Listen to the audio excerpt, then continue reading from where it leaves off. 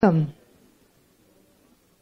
I'm Karen Tucker, and this morning's Churchill Club program is called Innovation's Endless Revolution.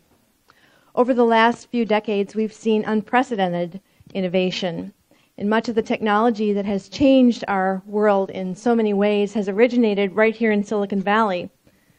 And because we are at ground zero of this vast revolution, it might be tempting to think that the pattern of innovation will continue in the years to come. But will it? And if it does, will it continue at the same frenetic pace? We have Vijay Vaitheeswaran and Paul Saffo here to discuss this meaty topic this morning. Thank you very much for being here, gentlemen.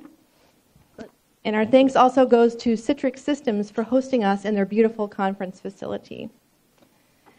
We hope you'll join us for our next program next Thursday, April 5th, as we present Fortune magazine senior editor at large Adam Lashinsky and respected Stanford Business School professor Bob Sutton. And they're going to talk about leadership and innovation the Apple way. For details about this, you can always go to our website or find out how you can get more involved with the Churchill Club at churchillclub.org. And then finally, if you are tweeting, please use the hashtag Churchill Club, and you'll find other Twitter codes in your printed program. Vijay Vaitheeswaran is an award winning global correspondent and the China business and finance editor for The Economist. He is a member of the Council on Foreign Relations, and he's an advisor to the World Economic Forum and an adjunct faculty member at New York University's Stern School of Business. And he is also the author of three books, including the brand new Need, Speed, and Greed. Paul Saffo is a world renowned forecaster and leading authority on the dynamics of large scale long term change. Paul is managing director of foresight at Discern Analytics, where he is, a, and he also teaches at Stanford University, where he is a consulting associate professor. Please give your warmest Churchill Club welcome to Vijay and Paul.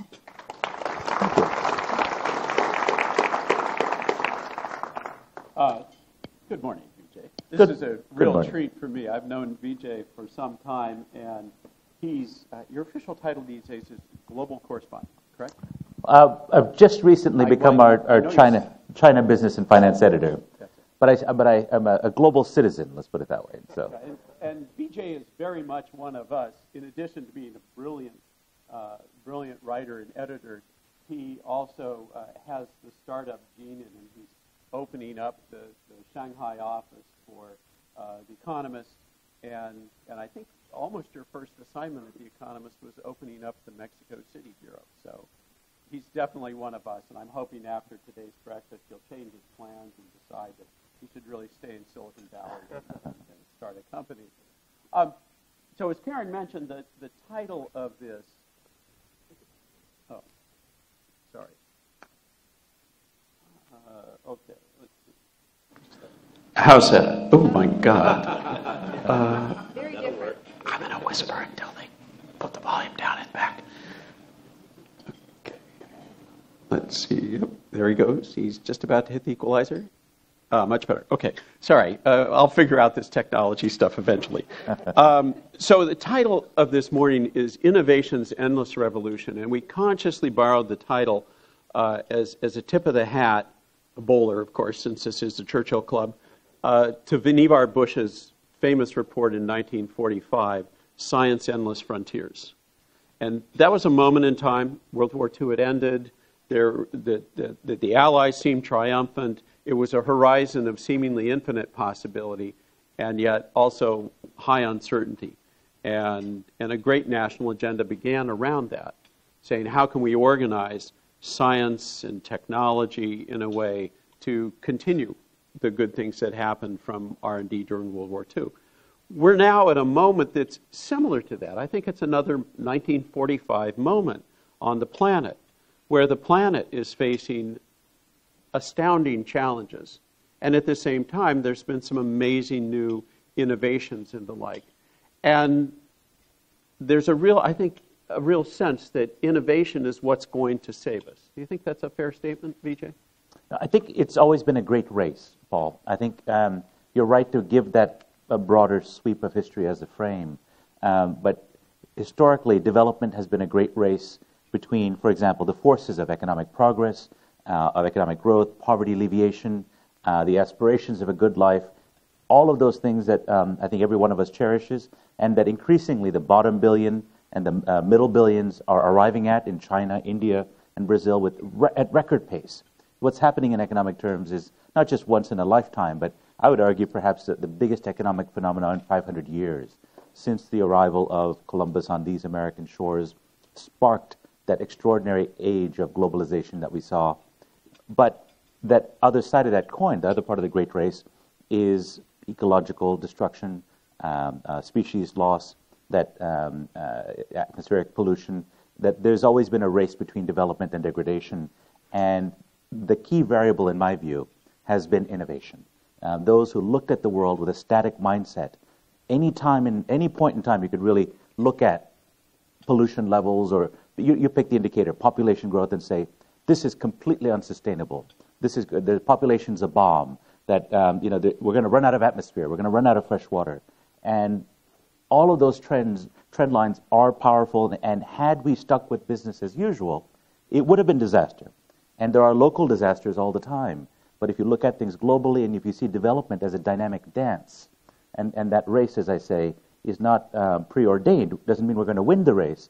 But as long as we continue to innovate and continue to reward innovators that work on socially important problems, and that's where the greed in my book title, and I will get to in a, in a bit, I think that's the key where innovation plays well, that role. But I want to pause right at innovation. That you know, Marshall McLuhan famously observed, "I don't know who discovered water, but it was not a fish." And here in Silicon Valley, we swim in innovation, uh, and yet I don't think we often really pause to step back and ask, "What exactly is innovation?" And you have a marvelous definition of innovation, and distinguish it from invention. Sure, you bet. I, I think uh, innovation is the most abused word in the English language, right? I mean, especially in this room. Who's against innovation? Raise your hand. right, exactly. Um, and so, what are we talking about? You know how you can be in a conference room or a boardroom and everyone agrees on some sort of innovation plan. Then you find out six months later people actually meant slightly different things. And, um, and so, I start by saying innovation is not invention. And uh, these may be fighting words here in the heart of Silicon Valley, but uh, innovation is not primarily about technology. Uh, innovation is not about IP or patents or PhDs, uh, even though it's often conflated with these things. In my view, innovation is fresh thinking that creates value.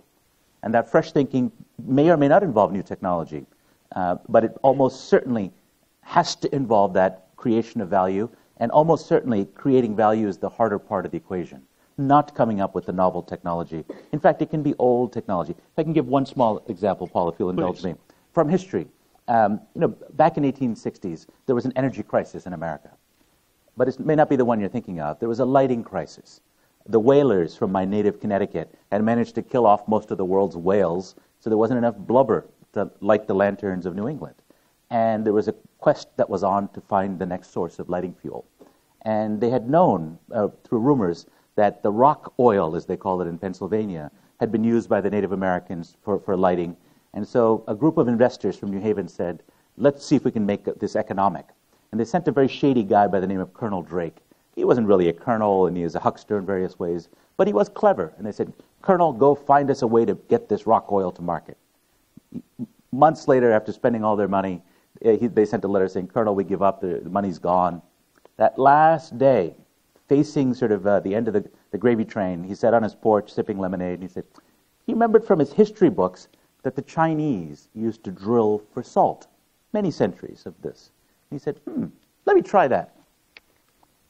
It wasn't new technology, but you can see how, in that context, and you know where the story ends, he had a magnificent gusher and transformed not only the lighting industry, but created enormous value for his shareholders, for society. It was the birth of an industry that ultimately led to an unanticipated serendipitous industry, which, of course, is the arrival of uh, the uh, internal combustion engine, and the, the iron nexus with gasoline that powered 20th century American greatness.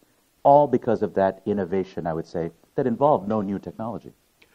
And in, in eerie parallels to today, uh, I recently uh, uh, happened across a brochure from 1905 on how to use acetylene to light your house. Now, how many people this morning woke up and said, "My life is complete, incomplete with, without a, a carbide acetylene generator in the basement?" and this was Union Carbide. I sort of like Solyndra. Um, uh, sorry, I was a cheap shot. Uh, but uh, you know, at this moment in time where we're doing all these innovations, and it's very far from clear which energy mix is going to succeed and not. True. So um, I forgot one detail. Questions from the audience. We're not going to save questions till the end. Here's how it works. If you have a question, and, and all I ask is that you try and make, for this first sort of 30 minutes, make the question um, uh, relevant to what's actually being discussed at that particular moment. If you have a That's question, asking a lot, Paul. I know it's not a rule I never follow. Um, you raise your hand. If you have a comment or a question that absolutely must be uh, injected into the conversation at that very moment, do this. raise two hands. We'll bring everything to a stop and we'll get a mic right over to you. So, you know, please join join the conversation in here. Um, Silicon Valley. Hmm. Does it have a future? Gosh, what do you guys think?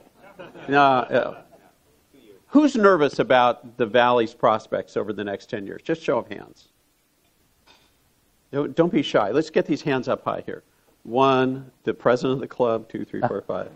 Okay. Who is absolutely bullish, like no problem, we're just going to charge on? It's about, oh, hold on, keep your hands no, up. No, it's, got, it's about 20%. And who's not sure? And who hasn't raised their hand? okay, good. So it's, a, it's an optimistic audience, not quite bullish. But it is. Uh, can I ask one of the pessimists just to give us a, a reason why? Let's ask Avery. Mike to Avery.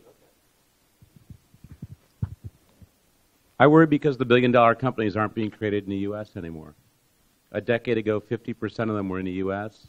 It's now 15%. Give an example of what worries you.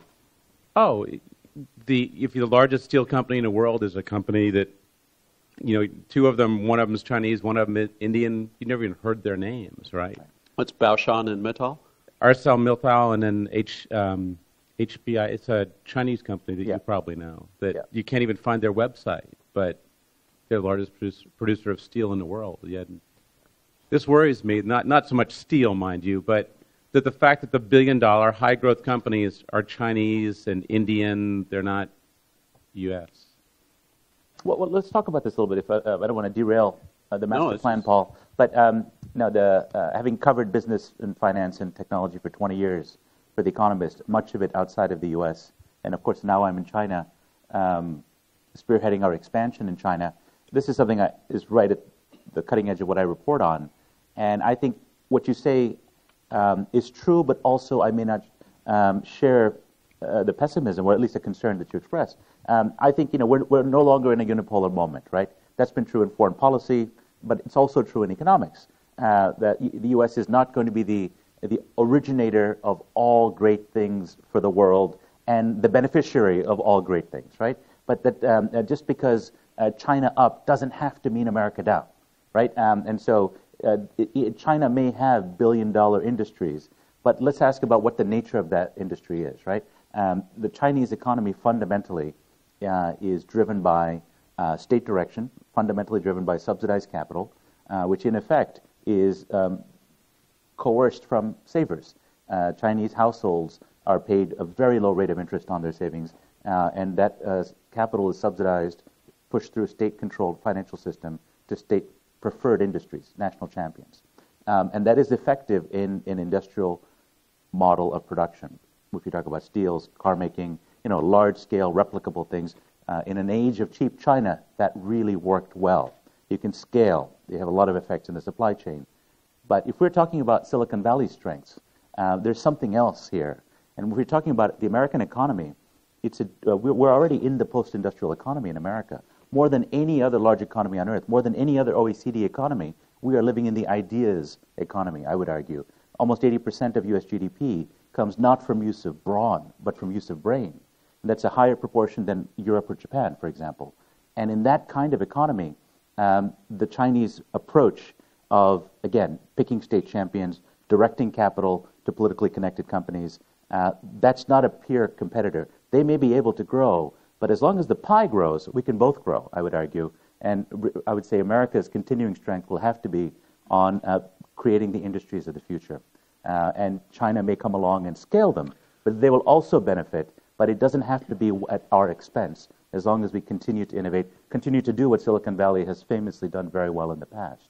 I think, uh, so I don't think one has to be proof positive of the other's decline. So it's not a zero sum game. However, I want to pick up on, on Avery's comment here.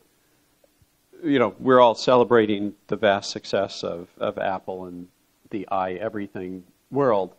Um, but you and I were talking recently about low cost manufacturing globally, and, and, and you did the, a marvelous issue in The Economist where we said it was the end of cheap China. Hmm.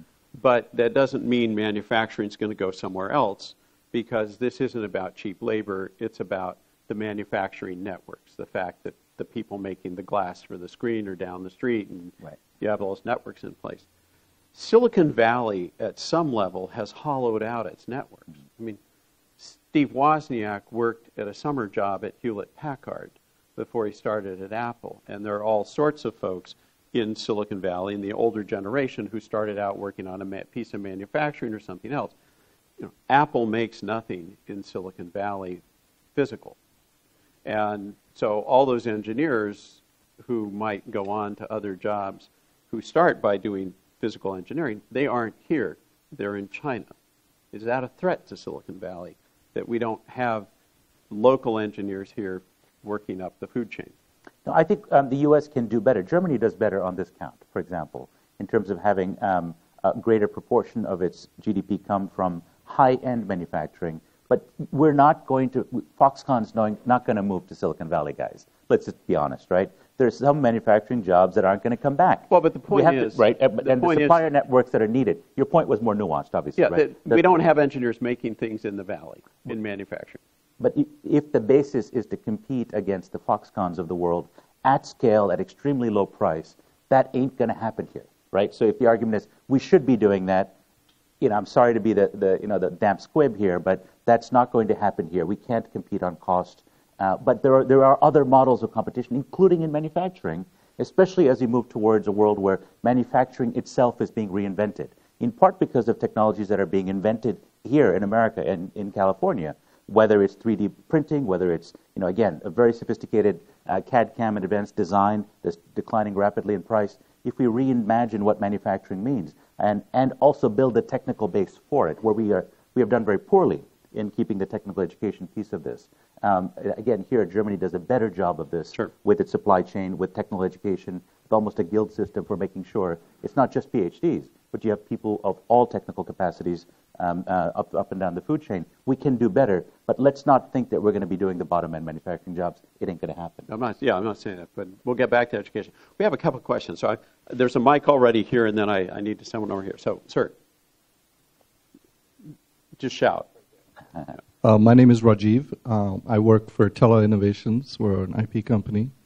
Um, I'm wondering if you have a thought on how uh, maybe Moore's law is not going to so much end as we're going to get priced out of it, uh, because the cost of going to new uh, semiconductor manufacturing nodes is so high, and so I'm I'm thinking I'm I'm from the camp of people who are concerned about the future of Silicon Valley. Even I you asked for the show of hands. Um, so I, I'm, I'm wondering if companies like Intel and AMD that have been the bedrock of Silicon Valley for so many years may have to go into a different business model.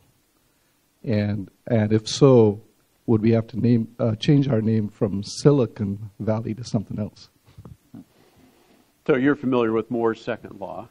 You know, Moore's, Moore's, first law is the co- you know the right. price performance of, of chips. Moore's second law is the cost of fabs, and they're depending on some charts you look at it, it goes to infinity faster than the chip. So, what do you think about that? Is, well, is there a silicon in Silicon Valley's future? Well, actually, I would turn it to you, Paul, as, as a guru at Singularity University, which is committed to the notion of technology is at the knee of that grow, exponential growth path, not just a range of exponential growth, but the convergence of these technologies. Um, give us a forecast. Well, I may teach at Singularity University. That doesn't mean I believe in the singularity. Um, and in fact, a min- minority of the students who attend actually buy in singularity. Uh, the only thing I would say to your question, I, you know, to me, the secret of Silicon Valley is that we know how to fail better than anybody else. That failure is embedded in our DNA. We know how to fail in the right way, and it, it has to do with sort of the myth that came around. And in fact, it's built into our architecture. I mean, there is a reason why most of our buildings are two stories high and surrounded by grass. So that when people jump, they just sprain their ankle and, you know, and they're at home and they put ice up on their leg and they realize they have a half finished business plan.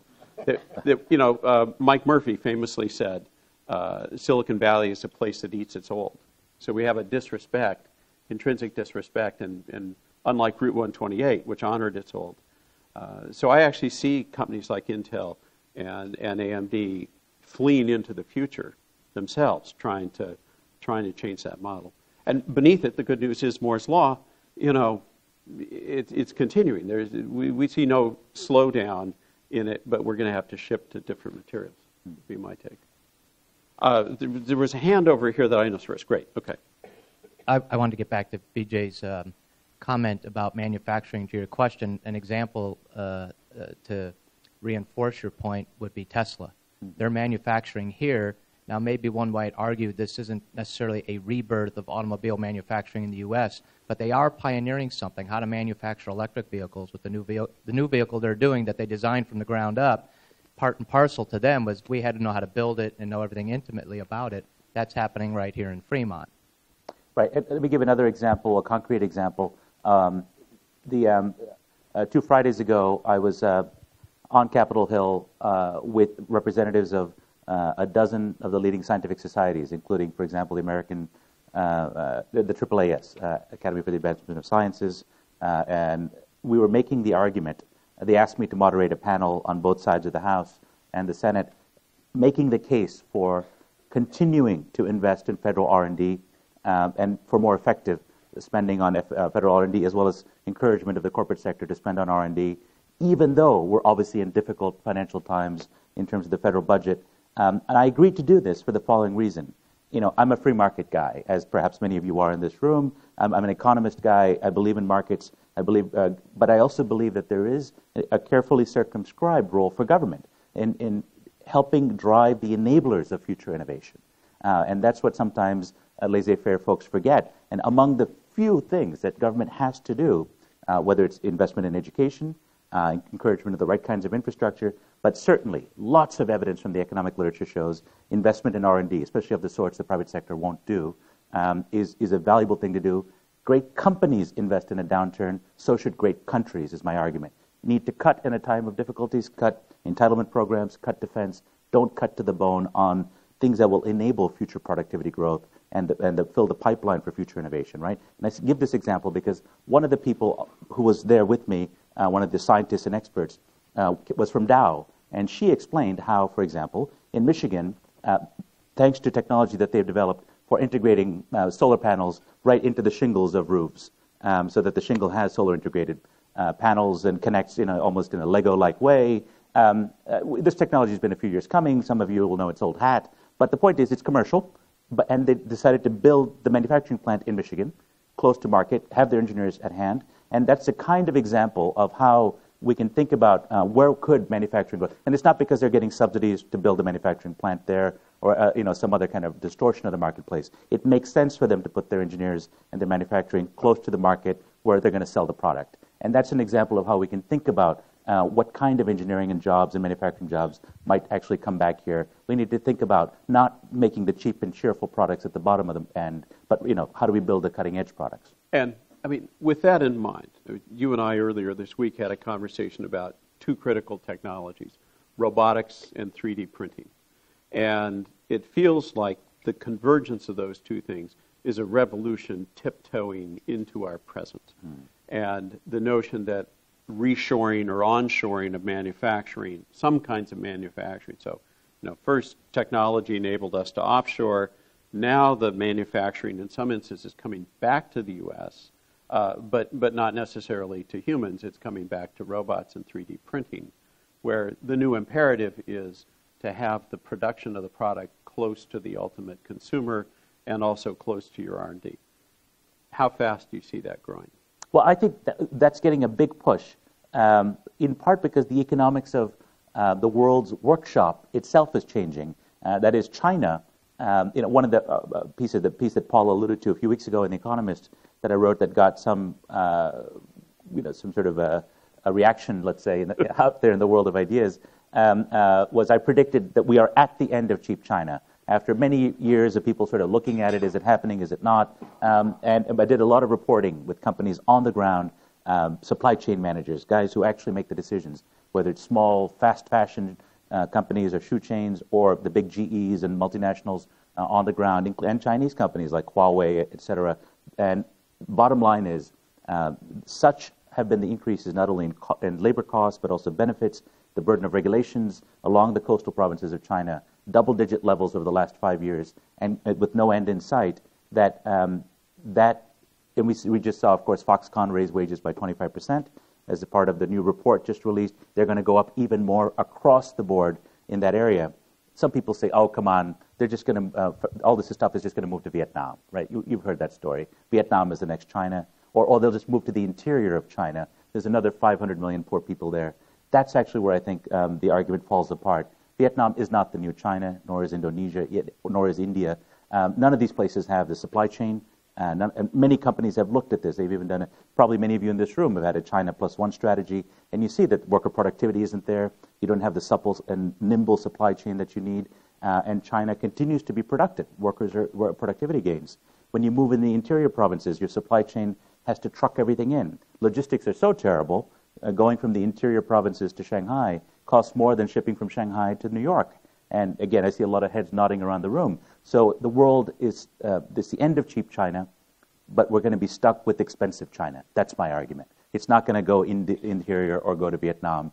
This means that stuff we buy at Walmart, it's going to cost a few bucks more. All right, let's be honest. Uh, but we could probably stomach that small contribution to inflation. The bigger uh, gain, though, and the relevant point to your conversation, is this makes it possible for companies to imagine that they're not that they're going to move plants to the Midwest. That's not going to happen. But the next plant a multinational builds, the economics look a lot better.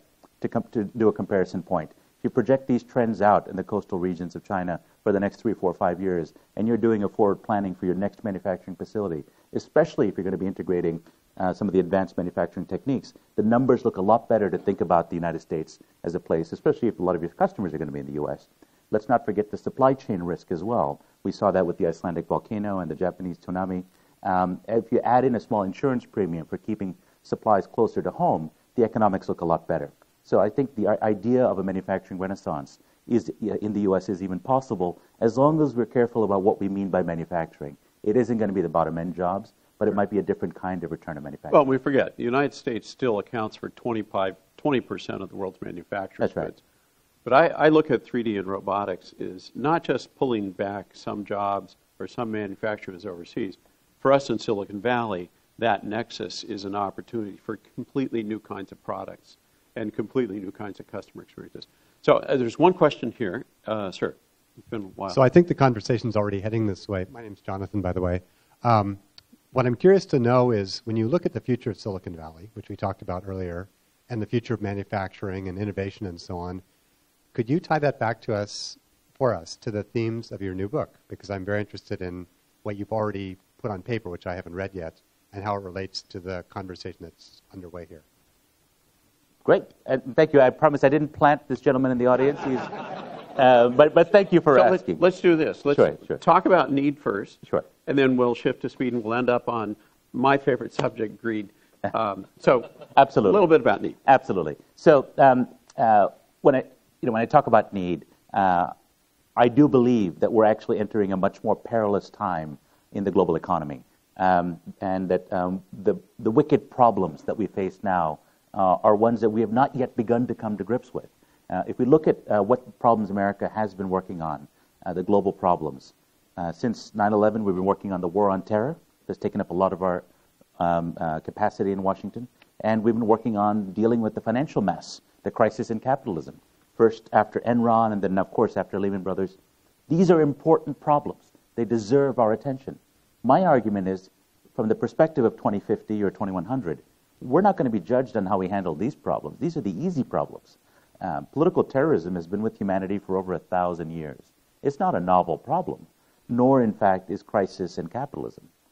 Tell me when there wasn't a crisis in capitalism, right? If you go back to the tulip bubble or the South Sea manias, crisis and capitalism go hand in hand. Every generation has to deal with this. What's new and different and much more powerful and much more difficult are the things that are related to the mega trends of our age. And if you look at, you know, well understood rise of not just China, India, and the BRICS economies, but the CIVETS economies behind them, you know, Colombia, Indonesia, Turkey, and then an acronym that ha- the next few acronyms that are going to come up, we haven't made them up yet. Um, we're living at an interesting and important time in economic history. Again, I argued the most powerful economic change in, in if not generations, in 500 years, where a billion people have already been lifted out of poverty in one generation, which is extraordinary. Another billion may happen in the next generation with luck, and that is good just from the perspective of the human condition. It's a great time to be alive, but it also brings those minds and markets to the global economy, making it better for us as well. So I really do think the zero sum notion of innovation or global innovation has to be roundly debunked, whatever our politicians tell us. Right? This is a great time, but it puts pressure on resources, and we know this. The food, water, energy nexus, as it's been called, fresh water, uh, the, the, quest for oil, these are going to be very difficult challenges. Uh, the, the, consequences of climate change, for example, as these economies rise, and if they, everyone in China wants to live like Americans, we're screwed. You know, this is not possible, right? It's, even America can't live like Americans going into the future, right? We have to find a better way of living if we're going to manage our, um, that great race I talked about between development and degradation.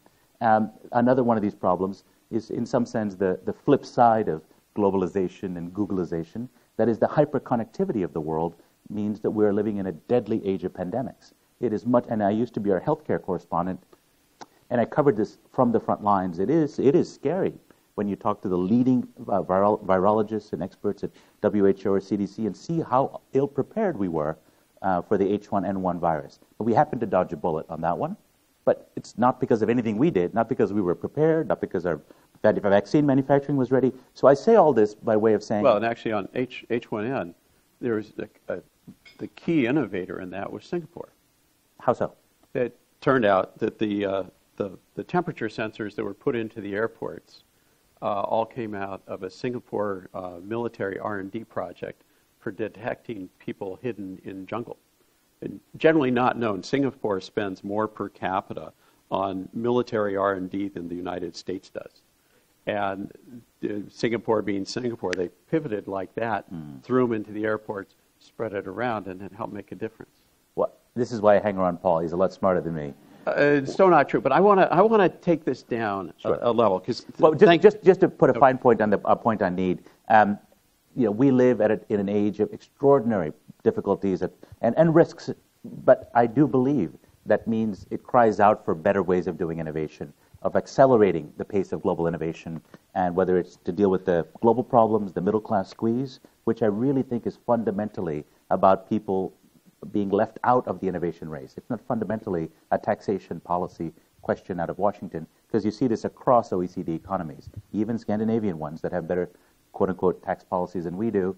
You see that uh, middle classes are being squeezed. So I really think that there's a, a desperate need for better, more ambitious innovation. So, better ways of doing innovation. Earlier this week, you and I were together, and there was a conversation about reverse innovation. Hmm. And I think this is news we can use here in Silicon Valley, that there are other models of innovation and um, uh, another VJ, Vijay Govindarajan at uh, the Tuck School mm-hmm. is working on it. Just say a little bit about reverse innovation and give some examples because I think this is a really important concept for us here in the Valley. Sure. Um, one of the things that's different about how innovation works now, and part of the speed part of my thesis, is that innovation itself is being innovated. That is meta innovation. The rules of innovation are changing very rapidly. Um, and one of the ways that they're changing, and re- part of the reason they're changing, is that um, innovation is becoming much more democratic. As we move towards more open, networked, interconnected, user generated models of innovation, the traditional silos that we're familiar with, you know, Xerox PARC up the road, or AT&T Bell Labs, or um, the many other wonderful secretive IP-driven ways of doing invention, are becoming less important. Not that they're going to vanish; they're not. Um, but I think many of you know that, um, as Bill Joy proclaimed some years ago, the smartest people don't live here. AJ, if you don't tell them what reverse innovation is, I'm reversing into it. immediately, I'm going to tell them. I'm reversing into it. I know you are, but I want you to get to the point because I only got 20 minutes left. Here. So the best ideas are not coming from inside your corporate labs. They might be coming from um, a village in Kenya where uh, a, a, a participant in that local economy now has mobile phone banking thanks to M-Pesa, something I don't have in New York with my money center bank that got a bailout and is too big to fail. I'm thinking, what the heck's going on here, right? That is, people uh, that are not traditionally part of the innovation ecosystem. That's why I belabor the point, because we're all elites here, right? Let's let's be honest. We're here at the heart of World Innovation Central. It's easy to think that the smartest people are in this room or in your company or just down the road. And when you look actually at innovations in medical um, technology coming out of China, uh, you're seeing disruptive medical innovators coming up with medical devices that are a fraction of the price that the big boys, Philips or Medtronic or GE, are coming up with that are not just cheap and cheerful. That used to be the old way of thinking about this, to your point, Paul. Uh, that, oh, you know, you put a few duct tape around it and get it out there, it's good enough for the poor world. They're actually cheaper and better.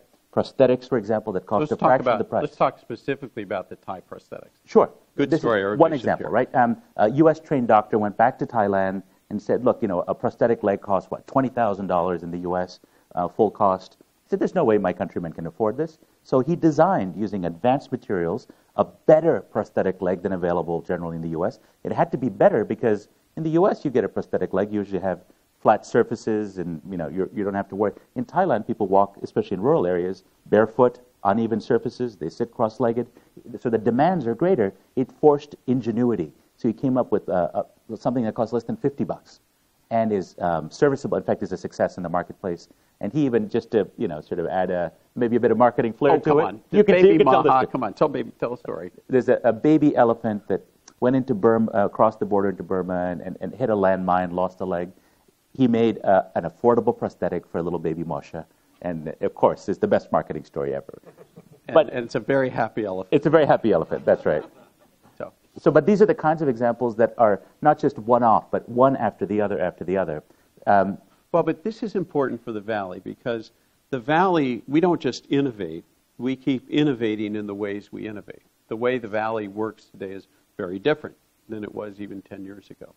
And these are examples we should be going out and chasing down the examples of innovation abroad and bringing them back here. No? bringing them back here is the key. And this is actually a point I drill down deeply in this book with lots and lots of specific examples inside companies. Um, even though now, when I, when I say that, many of you already were nodding your heads, you know about sort of frugal engineering and these ideas coming up. Maybe um, many of you have labs in India or China or Brazil, and your guys there are, are, are kind of working on a pace, a metabolism of innovation that doesn't always follow the rules, right? Um, that's great, you get it. But let me give you a real world example, sticking with Paul's admonition to be concrete, um, of how hard it is to actually bring back to this market. GE, for example, is a company that um, now gets it, right? Um, they have labs in, in these countries. They even come up with um, uh, disruptive innovations there. And, you know, I sat down with Jeff Immelt uh, for this book and actually um, challenged him because I happen to know that some of the cheaper, more cheerful, more affordable devices that, that come out of their labs in China, the, the researchers there, because I'd gone and talked to them, they said, headquarters wasn't supportive. They said this isn't the GE way. This isn't good enough. In other words, it isn't what medical invention is typically, which is a lot more expensive, gold plated, uh, uh, just a little bit better. That's what in medical devices it tended to be. But they did it anyway. They did an end run. And they, they said, well, let's talk to our colleagues in other emerging markets. Turned out the Brazilian market, they were really interested. So they found a way around the system. But I said, wait a minute, why can't we have this in the U.S., where 20% of GDP almost goes into healthcare? And the story goes briefly like this. Um, the head of healthcare at the time, actually Omar Ishrak, um, said, let me try to bring this back to the U.S. Some of the more affordable devices that are actually order of magnitude cheaper than the stuff that they sell in the U.S. And here's what he found out. His salesmen make more on commission from today's devices than the cost of the frugal engineered product coming in from China. They didn't want to sell it. And so he said, wait, come on, guys, why are you not selling it? He found out why. So he set up an alternative sales force. But those guys didn't have the relationships with the doctors. it, it- they couldn't make it work, right? This is a practical example of internal incentives that even though it's such a good idea, it's often difficult given the internal silos, structures, incentives within your organizations. So if you want to promote this kind of reverse innovation and make it work and really steal that market share, you're going to have to work twice as hard. When I challenged Immelt on this example, he said, we're going to have to change how we pay our salesmen. And, and he, he kind of got it. So disruption is coming to our healthcare system. The only question is, what, is whether the disruptive innovator is going to use forks or chopsticks. So the good news is, uh, eventually we will get the Thai prosthetics in the United States. The bad news is, thanks to the American healthcare system, they will cost us twenty thousand. That's right. That's right. Uh, and, and we should just just to finish this thought, it's not just products that are subject to reverse innovation. What Devi Shetty is doing in India with cardiac care, radically lower, frankly, better than most of the United States. How many people here are in the service business as opposed to product business? Take a look at what Devi Shetty's done with that. So I know there are questions. People haven't been raising their hands. My request for the mic is uh, we'll call and don't, don't give it to someone until we call them. So are there questions at this point that people want to put in? This is really weird. Oh, yeah, the young lady back there. Let's get a mic straight to her. This is such a strange Churchill audience. Only three questions. Hands up. We are getting agreed, by the way. Um, I totally, totally agree with everything you're talking about. Totally on board with globalization. Um, a, I li- a little bit louder, please. Oh, yeah. Thank I you. said basically, I totally am in favor of globalization. I think it's amazing, and people don't really realize how we have escalated um, ideas and standards of living. Having said that, my concern, one of my concerns here in the Valley and in the U.S. in general, possibly globally, we're not investing in basic science. And if you look at the U.S., we've been living off of our space race for many years now. In fact, I'd make a case that the Valley came out of the space race. But we're not doing that anymore.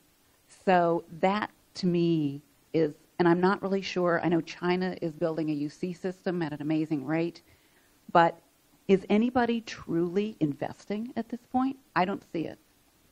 That's what makes me nervous. I mean, I, you, know what I think. I was at Capitol Hill making the case for increasing America's investment in R&D, uh, both public and private sector. As a share of GDP, our R&D investments have actually gone down, which is atrocious in, a, in an age that we live in. So I, I think you're on to an important point. Um, you know, my argument about you know uh, innovation not being a zero-sum game. I think the way to think about it is, you know, China's rise can be a, a rising tide that lifts many boats, but not if you don't patch the holes in your vessel first. And one of the holes in our vessel is our, uh, in my view, underinvestment in, in important areas that would ultimately be the pipe, filling the pipeline for future innovation.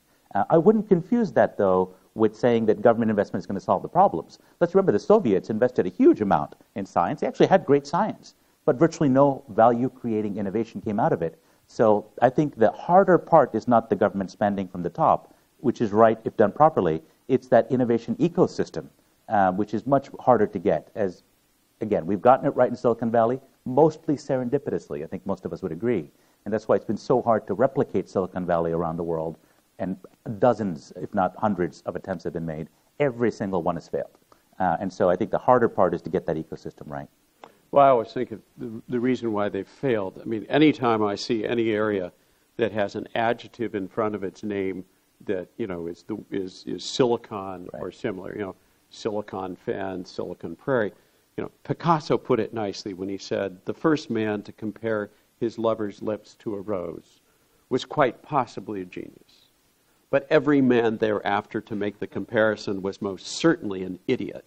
You know, that it, the whole idea it, it, it is it is inane to say we're going to succeed by copying Silicon Valley. Right.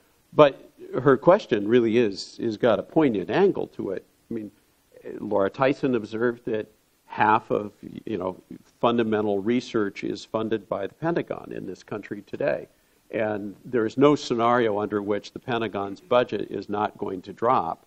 And meanwhile, we're slashing and burning our university budgets, and and and it's, it's I agree, it's it's a network. Uh, you got to be able to use it. Don't make the Russians' mistake. But if there's nothing being created at the bottom. Let's let's go to another question. There's a mic right back there. Um, As a recent transplant uh, to Silicon Valley, I kind of sense a, uh, an insularity to the thinking and an insularity to the culture uh, that I think is a detriment to it.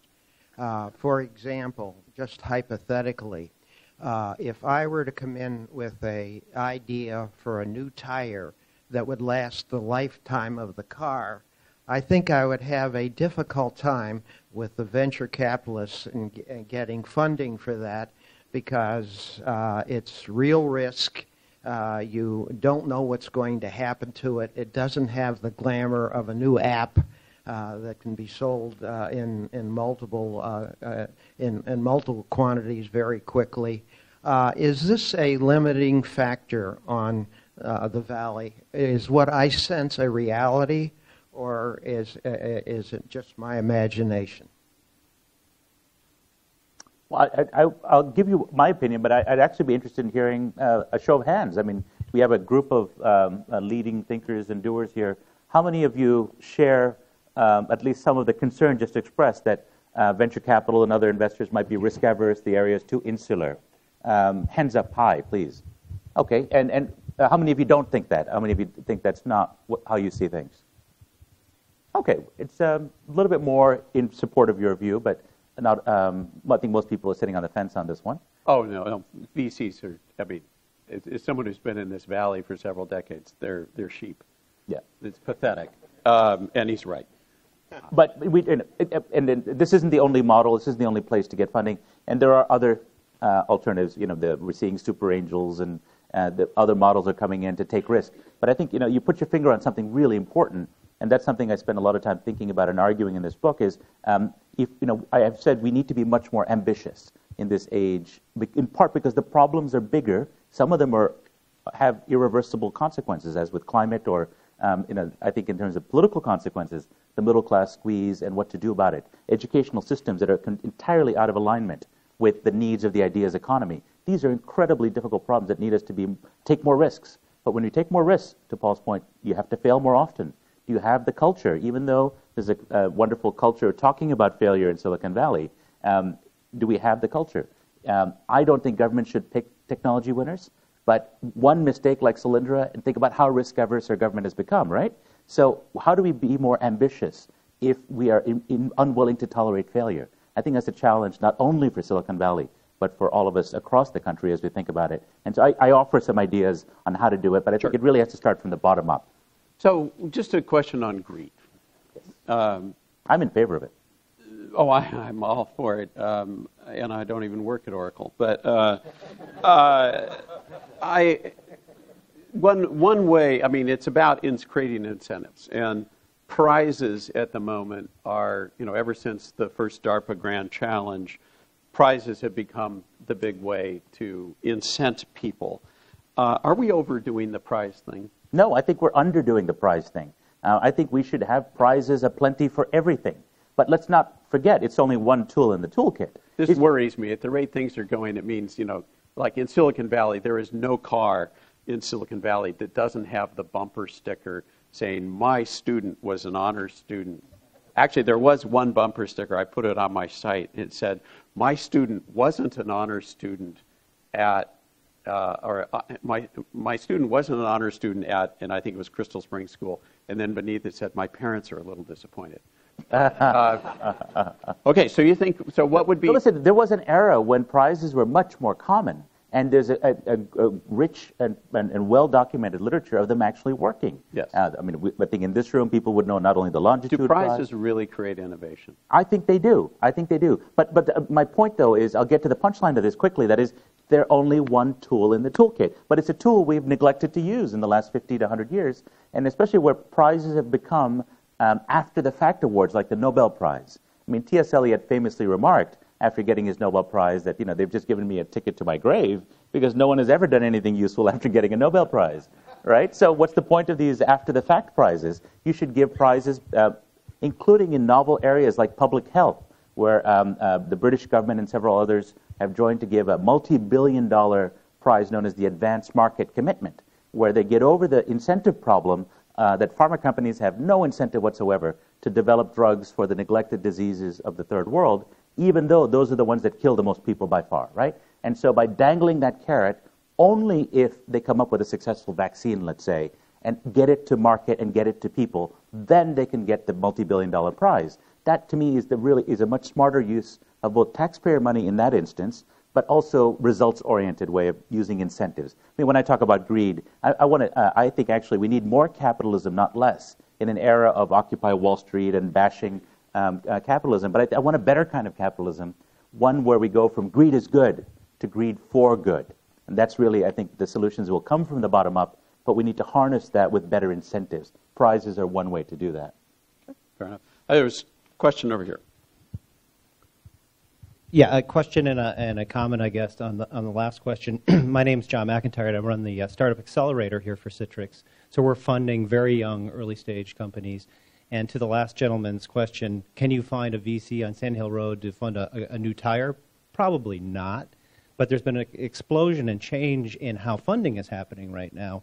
So corporations like us and angels and angel funds are funding all kinds of things that VCs may not have traditionally. So it's a very quick changing landscape.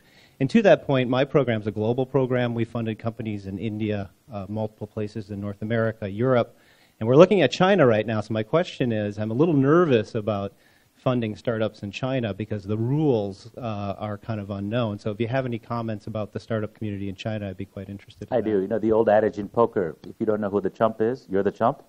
Um, in China, you need to be extremely wary about uh, funding startups, uh, just as, it, as in any other dimension of business.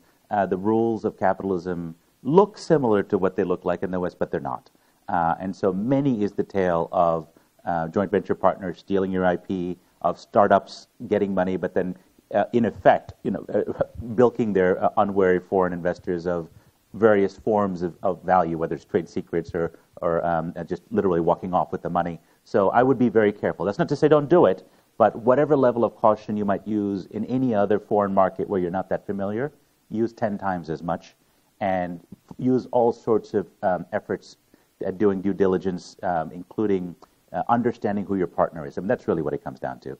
And if you use the rule that, you know, look at uh, basic raw Darwinian uh, notions of, of uh, balance of power, leverage, um, rather than sort of uh, notions of rule of law and trust. You say, um, is there any way for me to get screwed in this situation? And if so, you probably will get screwed. And, and it's not seen as a terrible thing. And I, uh, actually, a leading Chinese investor told me this. He said, people misunderstand. They think that, you know, we don't trust foreigners. We don't trust each other either.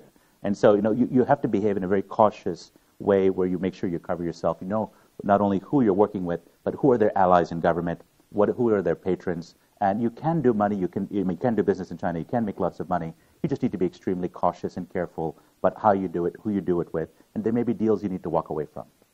So now that you're the head of the China Bureau for the Economist, and I, and, and I realize you're not quite there yet. You're still hovering in Hong Kong waiting right. for um, all the details, but that makes you an expert on China. So, um, is the China middle class a bubble?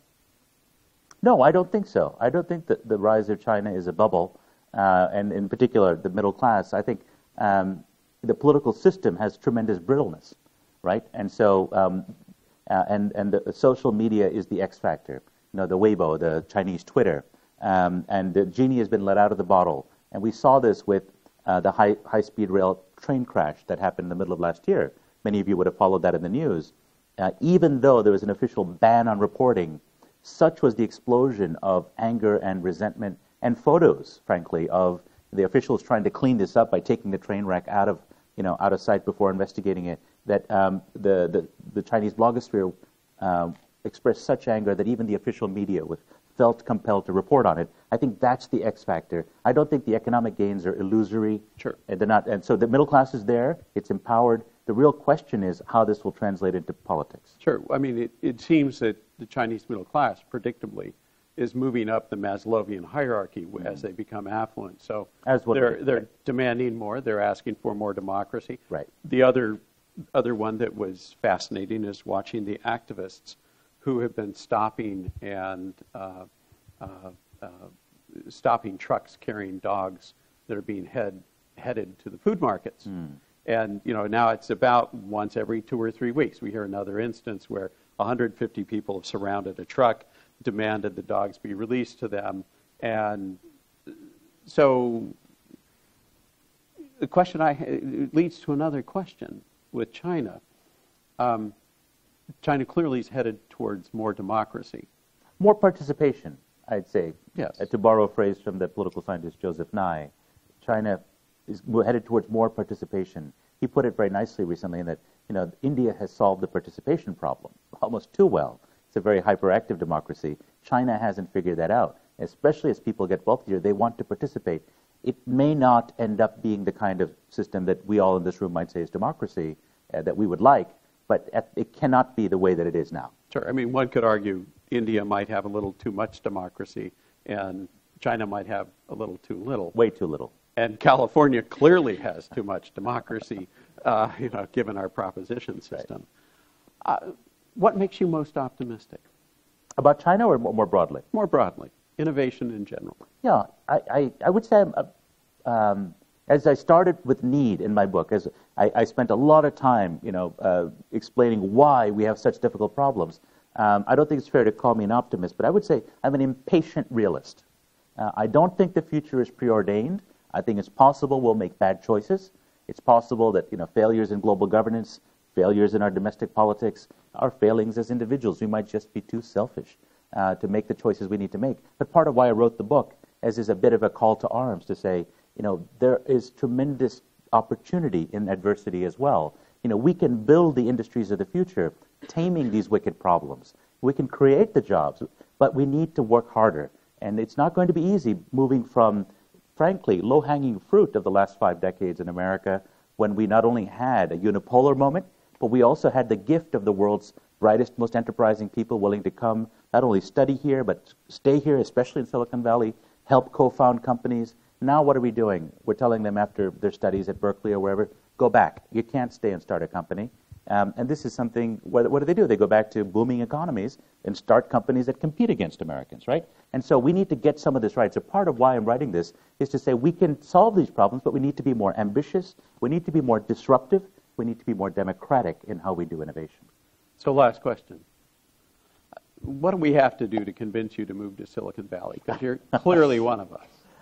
Uh, you know, I, I, I would we'll give you to, venture funding. No, no, no. I, I, I think um, the most value I can bring to my friends here uh, is to go roaming around the world, including coming back to Silicon Valley often. So I would be honored to, to come back often, but I think uh, the greatest service I can do is actually to go and ask rude questions to people in power uh, who are you know, posing as the, you know, the, the leaders of the world or captains of industry and come back and report back to all of you.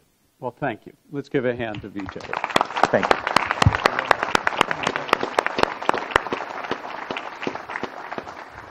I'd like to thank our speakers once again for delivering this provocative conversation. Vijay's book, Need, Speed, and Greed, is available courtesy of Books Inc. for purchase in the lobby. Anybody who signs up as a new member today will receive a copy of the book as part of that. Hey. And I'd like to also thank Citrix Systems again for hosting us, and you have been a wonderful audience. Thank you so much for coming. Have a great day. Thank you so much.